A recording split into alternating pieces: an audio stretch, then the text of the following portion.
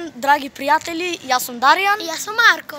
Сега ќе правиме едно чудно, чудно, пр, како претраж, чудно. претражување на едно чудно и малку језик. крипи, малку крипи место. И. Еве, ќе ви го покажам. Не знам дали се убаво гледа, ама да, тука не знам што има. И е, пријатели се е, се, се извинувам што ја слушате таа галама, ама да, ќе го претражуваме ова крипи место. Пријатели, 30 30 лајкова истражуваме ово место доле. Ако можете да го видите, многу е езиво, има нешто бучи од таму. За 30 лајкова. Ајде, одиме сега долу да гледаме.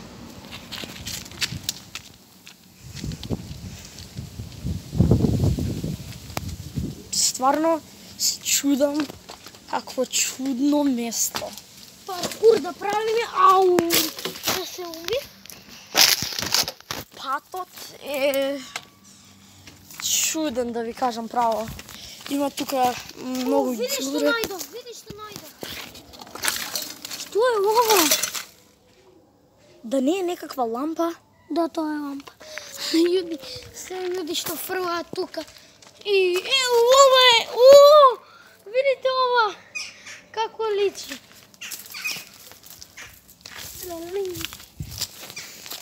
Ајде, одиме сега на нам. Вау, Кој знае? вау, што е ова? Да не е ова манџа? Жити Што е ова, бре? Чергиче некакво. Луѓе, ова е чудо. Има цело џунгла поза... Леле, Марко, дојди! Ја гледаш таа маса таму? Да не живее тука некој во шумите? Какви Кој чудни работи. И тука има еден бунар. Леле, тоа е... Она е... говно. Ова мислам дека било ВЦ некакво. Има илуминати триаголник. Леле, луѓе, што е ова чудо? Тука има и столица фрлано. Леле, гле. Гледате, драги пријатели, какви чуда има. Е, вие што не се удариле лайк и subscribe, ве молиме, зашто ова а, го работиме само за вас, за никој друг. Сигурно ќе фатиме 15 болести од ова место. Ама да. Какви 15, 35. Милиони имам да фатим. Ова Погинеме, еј, глед, клин има. клин има тука. Има и фиока. Има и како што е ова мајца ли е? Драги пријатели, удрите Има и ова, гледај. удрите, удрите и, ла- ова? и илјада лайкс а, и јас ќе го носам ова за другото видео. Глеј што најдовме за коса. Да погинеме овде. Јит! Вау, ова е стварно Ако чудо. не умреме тука, свака ни час. Вау, ова е стварно чудо. И што има тука? Тоа беше некој луд човек, се извинувам за тоа. Вау. Некој таму, бегај бре. Гледај, има има напуштена куќа. Леле, мајката. Леле, таткото. Леле, моја бабата.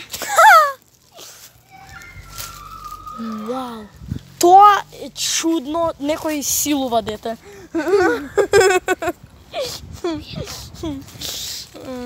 Вау. Чекај, а, драги пријатели, ова е чудно место. Значи, драги пријатели, ова е чудо. И, и Тука како што имам- како што кажам, 1000 лайкс и ова ќе го носам во другото видео. 1000. Не мислам дека тоа ќе се случи, ама ќе За, видиме. за милион прегледи, милион лајкова ќе тука цел ноќ ќе седиме. О, 24 сати overnight challenge. Вау, ова е чудо. И тоа невидено. Ова не е чудно. Јуди, ние кога бевме мали планиравме во контењер да живееме. Ќе си прекучиме телевизор, телефони и рутер, ќе ставиме еден и етен живот во контењер. Не лаже, тоа стварно мислевме како а, мали деца. Не знам дали вие сте го гледале Никелодиен ова а, TV series Big, Big Time Rush.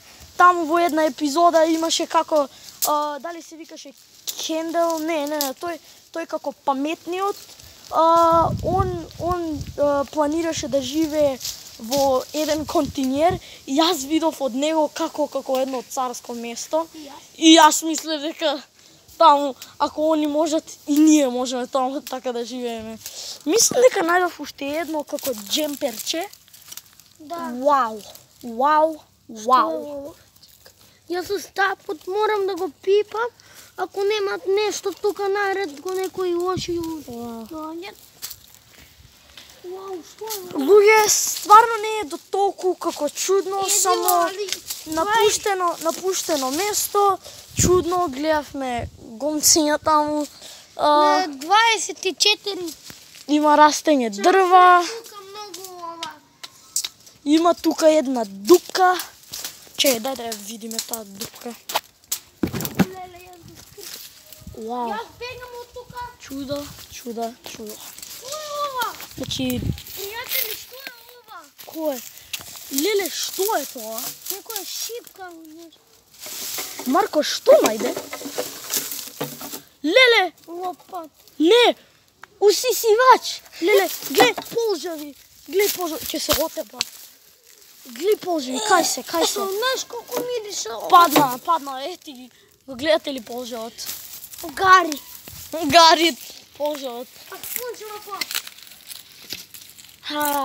Марко, дојди ваму. А да го истраживаме и ова место тука. Значи, драги пријатели, се извинувам, само вадам лисија за да не се гледа некако. Значи, драги пријатели, нема многу ништо како многу интересно тука, нема да најдеме како нешто. Тука Им- само им- има О, то, Марко, кога ќе живееме, еве ни пепси. Што е пуно? Леле, леле, вистински. Шо е ова?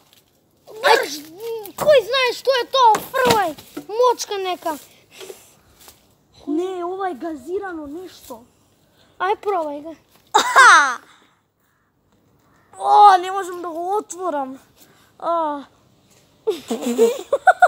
Едно дете ќе погоди во глава, бе.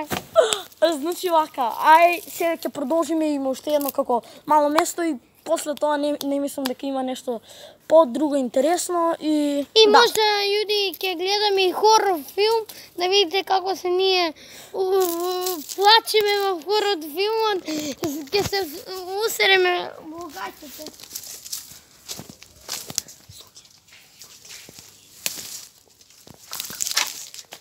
Опа, се извинувам што почнавме малку да ќутиме. Зошто има тука дупка? Значи, Јас, јас ноќе Ова е нема да спијам. Да. Ова е стварно многу чудно место, има гранки сегде. Си се извинувам за лошите. О, листови, окей, тука само има Ова ѓубре. стварно Како- вреди за како subscribe и лайк. Ѓубре, значи ве, ова ве молам, ве молам, бесплатно е, само лајкните, не кошта ништо, бесплатно е и нема да ви кошта ништо. Значи ве молам, лајкните, ништо не е како многу. Лайкните јуди, сабскрајбните се и пишите нешто во коментарот и добивате срце во коментарот и добивате вие сабскрајб на каналот. Да. Опа, ќе се отепам, ќе се отепам. Јас ќе умрам тука, бе. Леле, паужина! Иу! Иу! Не знам дали се гледа и гледате ли. Паужината ми се закачи за ногата, леле. Леле, вау. Леле, маме. Леле, бабе. А, Преживаме имам уште едно уклето место. Една куќа напуштена. Ке истражуваме. Опа, јас се качив на дрво. О, Каков е тој звук? Ветер. Си слушнал ли ветер? Не, имаш еден... А, од овој. Што беше тоа? Што беше тоа? Јас. Јас јас се качив на дрво и ме бочка нешто и одма ќе се спуштам. Боли. Дели како ќе се спуштам? Океј. Вау. Да, јуди, ке играме и PS и FIFA и Fortnite и GTA буге, 5. буге. Ќе ги играме. Леле, има има огромен паук Кој? на телефонот. Брго, бе, брго! О, брго, Чекај, чекај, чекај. Леле, леле, гледај, гледај. Ова беше закачено за телефонот. Ова беше закачено за телефонот. Мамо, јас ке бегам. Јас Да не умрам. Јас признавам, ја, а, јас се јас се извадив од мојот памет, како што сега слушнавте. Ајме Марко, ова место е чудно, има паужина на телефонот, Ќе а, на камерата, не на телефонот, што зборам јас. Ама опа, опа, окей, тоа болеше, ауч, ауч, ауч. Значи, луѓе, ова е ова е Јас тука како тарзан во шарени гаки сум. А, тука, значи, нема ништо многу интересно, само е некое напуштено место и многу се плашам дали некој па, паук беше на моето тело и чао, чао. Јас толку имам да кажам. И ќе се Чао, луѓе. во наредното видео. Ве молам, лајкнете, сабскрајбните, срце во коментарите. Чао.